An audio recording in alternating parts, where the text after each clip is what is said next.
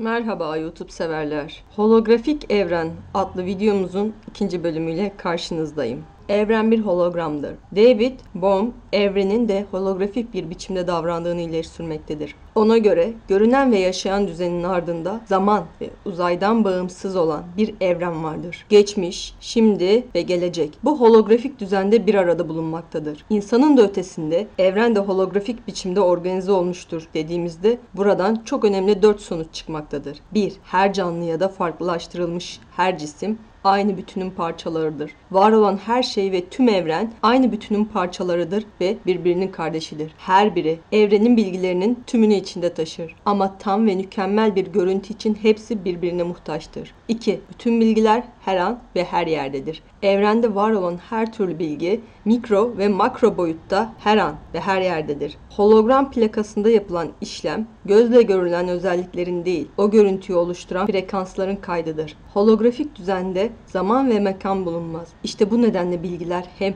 her yerde hem de her zamanda mevcutturlar. Atom altı düzeyde herhangi bir parçacığı evrenin tamamından koparmak adeta imkansızdır. Parçacıklar bize birbirinden ayrı düşmüş gibi gözükseler bile lokal olmayan bağıntılar tarafından birleştirilmişlerdir. Herhangi bir parçacığın davranışı sistemin bütün tarafından belirlenir. Kısaca tüm bilgiler her an ve her yerdedir. Yeter ki onu görecek göz, nasip ya da görev için gerekli liyakat mevcut olsun. Nitekim Kur'an ben size şah damarınızdan daha yakınım demenin yansıttığı hologramik bir anlayışı o zamanki insanlara böyle veciz bir ifadeyle sunmuştur. Şah damarında yani can alıcı noktanda ben varım demek sen benim bütünümün içindesin. Senle ben biriz. Sen benim parçamsın anlamına gelir. Ama bu ifade ama bu ifade sen de tanrısın anlamında değildir. Sen tanrıdansın anlamında kullanılan bir ifadedir. 3. Var edilmiş her birim tüm evrenin bilgisine sahiptir. Her insan hatta her atom ya da her zerre kendi başına bütün evren bilgisine sahiptir. Ancak bu bilgi kodlarının o cismin içinde bulunduğu görev alanın gerektirdiği kadar açıktır. 4. Evren ancak tek tek algılamalar sonucunda canlanır. Yani evrende bir bütünlük, bir ana plan ve süreklilik söz konusudur. Bizler ancak o çok katlı ana planın dalga boylarıyla bir rezonansa ve bir paralelliğe girdiğimiz oranda o frekansın bilgilerini cisimleştiriyor, buluyor ve kendimize mal edebiliyoruz. Böylelikle de evrenin bazı sırlarını çözebilmekteyiz. Aslında evrenin kendisi de akışkan, dev bir hologramdan başka bir şey değildi. Ve bunun farkına varması onun tüm dağınık sezgilerini geniş kapsamlı ve uyumlu bir bütün halinde derlemesine olanak verdi.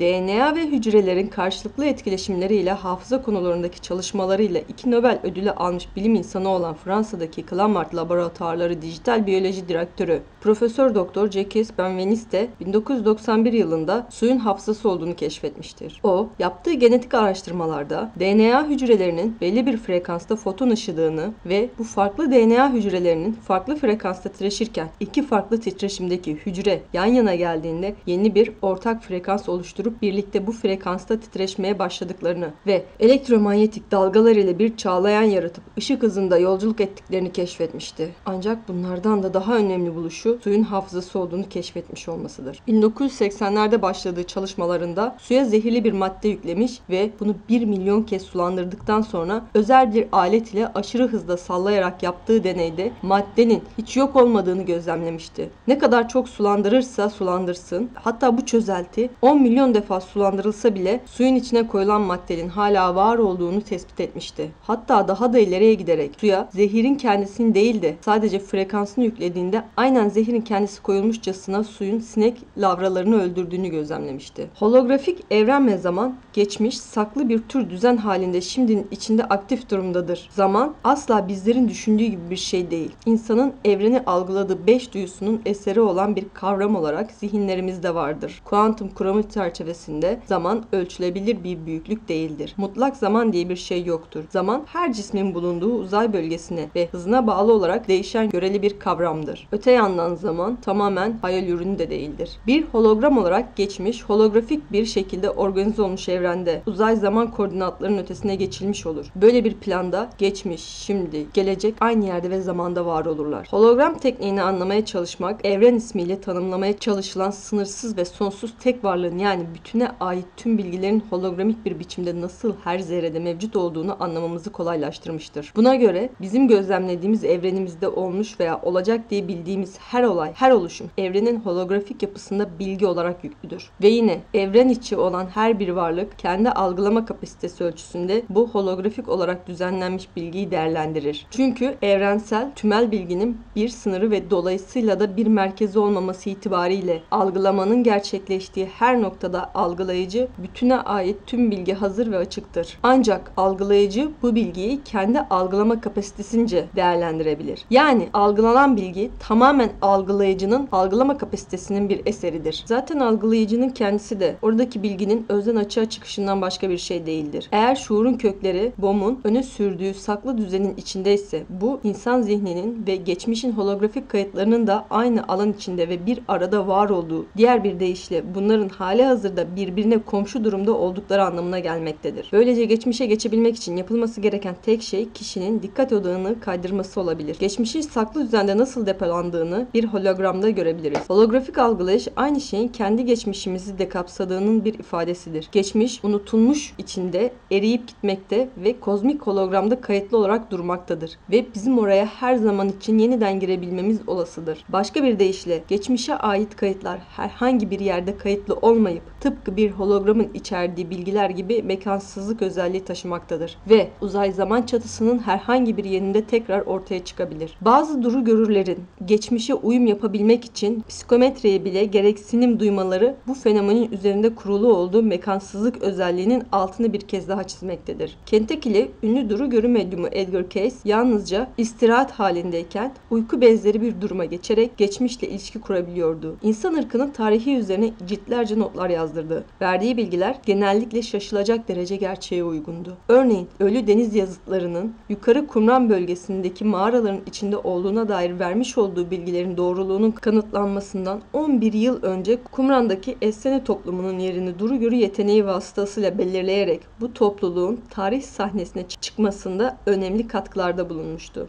Araştırmalar geleceği önceden görme vizyonlarının trajik olaylar konusunda daha sık ortaya çıkmakta olduğunu göstermektedir. Mutlu olayların sezilme oranı, üzücü olayların sezilme oranının dörtte biri kadardır. Kötü olaylar arasında ölüm olayının önceden içe doğması en yüksek orana sahiptir. Bunun arkasından kazalar ikinci, hastalıklar üçüncü gelir. Bunun nedeni açıktır geleceği algılayabilmenin olanaksız olduğuna kendimizi o denli inandırmışızdır ki geleceği sezebilme konusundaki doğal yeteneğimiz körleşmiş bulunmaktadır. Yaşamı tehlikeye sokan acil durumlarda bireylerin sergiledikleri insanüstü güçler bir yakınımızın öleceği, çocuklarımız ya da sevdiğimiz başka bir kimsenin tehlikede olduğu gibi hep kriz zamanlarında ortaya çıkmaktadır doğuştan sahip olduğumuz geleceği görme yetilerimizi şuur dışının gerilerine sürgün etmiş olduğumuza dair diğer kanıtları ise geleceği sezme olaylarıyla rüyamız arasındaki yakın ilişkileri inceleyerek bulabiliriz. İnsanın holo sıçramaları zaman boyutunda her ayrıntısı belirlenmiş bir hologram ise o zaman bizim özgür irademiz söz konusu olamaz. Hal böyleyse Hepimiz kaderin elinde daha önce yazılmış bir senaryo boyunca şuursuzca eylemde bulunup duran kuklalar olamaz mıyız? Holografik algılayış, dogmatik inancın yatsınamaz yumuşak karnı olan kadercilik yaklaşımına da alternatif sunmaktadır. Neyse ki bu yaklaşım kaderciliğin kaderimiz olmadığına işaret eden kuvvetli kanıtlar içerir. Burada felaketlerden kaçabilmek için geleceği sezme yeteneklerini kullanabilen birçok kişi örnekleyen belgeler vardır. Kimi bireyler bir uçağın düşeceğini önceden sezmişler ve bu uçağa binmeyerek ölümden kurtulmuşlardır. Kimi bireyler ise ön sezileriyle çocuklarının bir sel baskınında boğulacaklarını hissedince onları tehlike bölgesinden zamanında uzaklaştırmışlardır uzaklaştırabilmişlerdir. 19 kişinin Titanik'in batacağını önceden sezmiş olduğu belgelenmiş durumdadır. Bu 19 kişinin bir bölümü olay içlerine doğunca duygularını ciddiye alarak yaşamlarını kurtarabilmişler. Diğer bir bölümü sezgilerinin üzerinde durmadıkları için boğulmuşlardır. Başka bir bölümü ise her iki kategoriye de girmeyenlerdir. Bu gibi olaylar geleceğin hazırlanmış bir kalıp olmayıp esnek ve değişken olabileceğini kuvvetle düşündürmektedir. Ancak bu görüş de bir sorunu beraberinde getirmektedir. Eğer gelecek sürekli bir değişim durumundaysa Kureyset isimli bir medyum belirli bir sandalyeye kimin oturacağını 17 gün önceden görebildiği zaman nasıl bir gerçekliğe değinmektedir? Gelecek hem var olup hem de var olmayabilir mi? Kozmos etimolojik bakımından Yunanca'dan alınmadır. Düzen ya da güzellik anlamına gelir. İnsan yani mikrokozmos küçük evren demektir. Kelimenin kavramsal tabanı bireyin bütünselliği üzerine inşa edilmiştir. Mikrokozmos belli bir boyuttan daha küçük olan öğeleri ve bunların kendi aralarındaki etkileşimleriyle kendi alanları dışında kalan öğeleri de etkileyerek yarattıkları tüm olayları, olguları içerir. Kimine göre mikrokozmosun alt sınırı atom altıdır. Kimine göre ise sınır daha ileridedir ve insanın duyu organlarıyla ya da icat etmiş olduğu aygıtlarla ayrıntılarını somut bir şekilde belirleyemediği öğelere kadar uzanır. Bu çelişkili görüşlerden de anlaşıldığı üzere mikrokozmosun başlangıcını belirleyen sınırın tanımlamasında bir uyuşmazlık söz konusudur. Mikrokozmosun şekilsel sembolü pentagram, sayısal sembolü 5'tir. Bunun yanı sıra makrokozmosun sayısal sembolü ise 10'dur. Evren yani makrokozmos büyük evren demektir. Makrokozmos belli bir boyuttan sonsuz büyüye doğru uzanarak evrenin tüm öğelerini içerir. Ancak bilim adamları makrokozmosun alt sınırını tanımlayan o belli boyutun ne olduğu üzerinde tam bir uzlaşıya varamamışlardır. Bizler yaşadığımız boyuttaki zamanı geçmiş, şimdi, gelecek diye üç kısmı ayırır ve evreni de bu bakış açısına göre değerlendiririz. Halbuki gökyüzüne baktığımız zaman ışığın ona bakan gözlemcinin hızından bağımsız olarak sabit bir hızla ilerlediğini söyleyen relativite teorisi uyarınca yıldızların ve galaksilerin şu andaki halleri değil uzaklıklarıyla doğru orantılı olarak geçmiş zamandaki durumlarını görürüz. Yani biz güneşin 8 dakika, güneş sistemimize en yakın olan Alfa Centauri'nin 4.3 yıl öncesini, Andromeda galaksisinin 2.3 milyon yıl öncesini görmekteyiz. Aynı olaya farklı bir açıdan yani şu anda dünyadan 10 ışık yılı uzaklıktaki bir noktadan gezegenimize geri doğru baktığımızı düşünürsek, Körfez Savaşı'nı 65 ışık yılı uzaklıktan, Japonya'ya atılan atom bombasını 212 ışık yılı uzaklıktan, 2000 ışık yılı uzaklıktan da Roma İmparatorluğu dönemini gözlemleyebilirdik. Mutlak uzay zaman dolayısıyla maddesel algılamaya dayalı anlayışımıza en büyük darbeyi indiren bu görüş bizi geçmişte yaşadığımıza, zamanın göresel olduğu, evrenimizin maddesel bir yapıya sahip olmayıp aslında bir enerji yumağı halinde dalgasal yapıda olduğu ve Lavoisier'in yoktan hiçbir şey var olmaz, var olan hiçbir şey de yok olmaz prensibinin dalgasal formdaki ifadesine götürür. Bundan binlerce yıl önce Pisagor ve takipçileri de fiziksel dünyada oluşan her eylem ve düşüncenin gökyüzüne kaydedilmekte olduğunu söyleyerek buna doğanın belleği ya da akaşı adını vermişlerdi. Holistik düşünce evrendeki her şeyin aynı bütünün parçaları olduklarını, birbirinden haberdar olarak tek bir sistem halinde hareket ettiklerini ve birbiriyle ilişki, iletişim ve etkileşim içinde bulunduklarını ortaya koyan bir düşünce tarzıdır. Düşüncenin ilk evresi lineer, çizgisel düşüncedir. Bu evrede sorunu çevreleyen tüm koşulları ve etmenleri etraflıca araştırmadan çözüme etkili olabilecek tüm bilgileri hesaba katmadan sonuç çıkarmaya çalışan ve her sonucun tek nedene bağlandığı bir düşünce yapısı hakimdir. Biz buna evet hayır veya siyah beyaz evresi de diyoruz. Oysa doğada ve onun simülasyonu olan toplumda karşılaştığımız tüm olgular lineer değildir. Her şey bu basitlikte izah edilemez. Düşüncenin ikinci evresi her şeyi parça parça ele alan, dünyayı parçaların birleşmesinin bütünü olarak ele alan kartezyen düşünce evresidir. Buradaki düşünce sistemi çözümlemeleri indirgeyerek doğrularını bir yüzeye yerleştiren yüzey geometrisi yani kartezyen geometrisi bu evrenin geometrisidir. Felsefede Descartes, fizikte Newton bu düşünce sistemiyle ürün vermiş bilim adamlarıdır. Bu düşünce sisteminin teknolojisiyle uçaklar, otomobiller ve parçaların birleştirilmesiyle üretilen tüm diğer mekanik sistemler oluşturulmuştur. Bu yüzden bu evreye mekanik düşünce evresi de denilebilir. Bu düşünce evresinin temel değerleri rekabet, niceliklere önem verme ve çizgisel hiyerarşidir. Düşüncenin üçüncü ve bugün yaygınlaşmaya başlayan evresi ise holistik bütüncül evren düşüncesidir. Bu evrede parçalar yoktur, bütün vardır. Çizgi yoktur, ağ vardır ve her şey birbirine bağlıdır. Bu düşünce sisteminde hiçbir sonucun tek sebebi yoktur. Bu evrenin geometrisi uzaysaldır. Temel değerleri ise rekabet yerine işbirliği, nicelik yerine nitelik, hiyerarşi, egemenlik yerine asal ortaklıktır. Günümüz holistik düşünce tarzının dikte ettirdiği holistik felsefe ise tüm evrenin bir bütün sistem olduğunun ve bu büyük bütün içindeki yapıların, düzenler ve fonksiyonları ile tamamen o büyük bütüne benzediğinin, daha küçük bütünlerin bulunduğu varsayımına dayandığının altını çizen bir yaklaşımı içermektedir. Filozoflar bu düşünceyi ifade etmek için mikrokozmos, makrokozmos kavramlarını kullanırlar. Tüm evren bir mikrokozmosun yani bir insan içindedir. Buna karşılık göklerdeki yıldızlarla dolu düzen bir büyük insan ya da bir kozmik insandır. Bu tür ilişkiye bir atomun güneş sistemiyle karşılaştırılması örnek verebilir. Atom makrokozmik güneş sisteminin mikrokozmosudur. Bütünsel holistik evren tasarımı bizim şu gerçekleri modelleme yoluyla daha kolay algılayabilmemizi sağlar.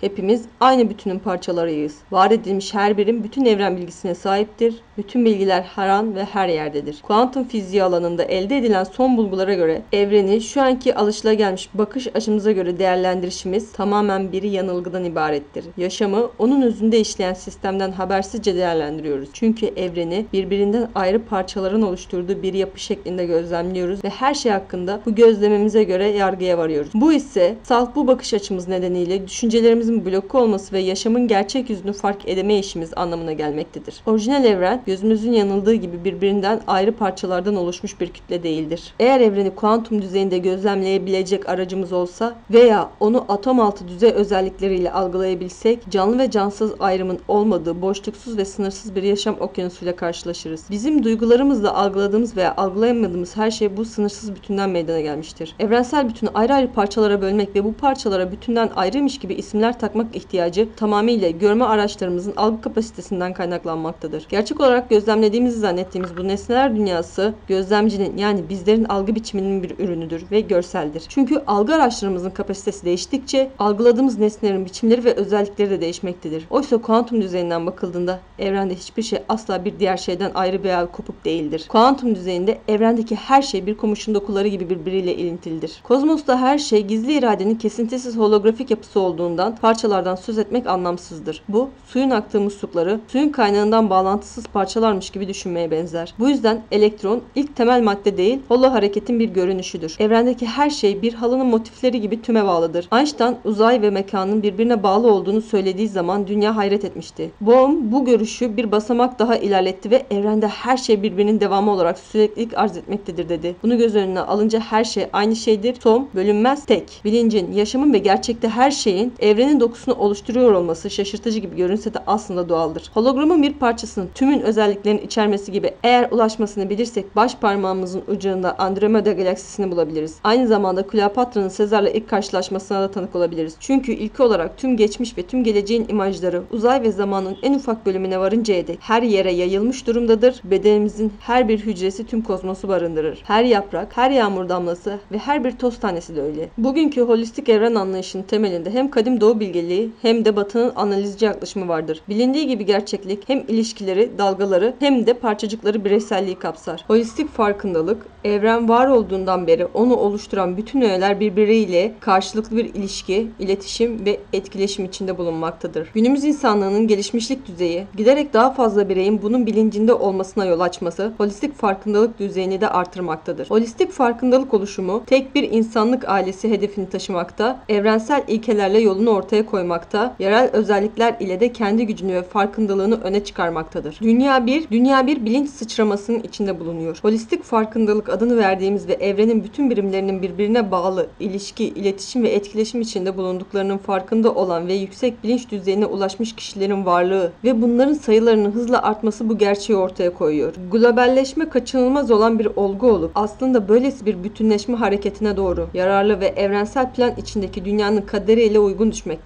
Globalleşme kaçınılmaz olan bir olgu olup aslında böylesi bir bütünleşme hareketi doğru, yararlı ve evrensel plan içindeki dünyanın kaderiyle uygun düşmektedir. Ancak ortada tek bir sorun bulunmaktadır. Holistik farkındalık düzeyinde olan kişiler hem holografik evren gerçeğinin hem de ezoterik yasaların bilimsel bir şekilde ve net olarak ortaya koydukları evren bir bütündür. Her şey bu bütünün parçalarıdır. Bu nedenle bir parçanın zarar görmesi bütünün zarar görmesi demektir. İlkesinin de bilincinde olduklarından tüm parçalara, bireylere aynı uzaklıkta ve tarafsız olarak davranırlar. Ayrıca onları tıpkı kendileri gibi aynı bütün parçaları olarak görürler. Klasik düşünme biçimimiz içerisinde sanıyoruz ki her şey doğar, büyür, gelişir ve ölür. Ama olaya daha geniş bir boyuttan baktığımız zaman özellikle tarihsel gelişmelerin dairesel ya da bütünsel bir gelişim çizgilerini görüyoruz. Evrenin bütüncül algılayışının bizlere sağladığı olasılıklar içerisinde zamanın ilerlemesinin doğrusal, tek yönde olmadığını fark ediyoruz. Bu algılayış sayesinde klasik düşünme biçiminin bizleri mahkum ettiği tek boyutta ilerleyen yani geçmişten gelip geleceğe doğru giden bir zaman anlayışından da kurtulmuş oluruz. Evren aslında sanki görünmeyen bir takım iplerle birbirine içten içe bağlı bir bütünlüktür. Burada her yapılan şey ve her türlü hareket sistemin bütün tarafından algılanır, hissedilir ve ona göre bir cevap verilir. Bir kelebeğin kanadını çırpmasından bütün kainatın haberdar olması gibi. Tarihsel araştırmalar hakikate dair bilginin insanlığın kolektif hafızasına kazınmış olduğunu göstermektedir. Zaman zaman toplumda bu bilgi unutulmuş gibi görünmekteyse de aslında böyle zamanlarda eksikliği hissedilen tek şeyin var olan bu bilginin kullanılma cesaretidir. Videoyu izlediğiniz için teşekkür ediyoruz. Yeni videolarla karşınızda olabilmemiz için lütfen videomuzu beğenin ve alttaki abone ol tuşuna basın. Yeni videolarla görüşmek üzere. Sağlıkla, mutlulukla kalın.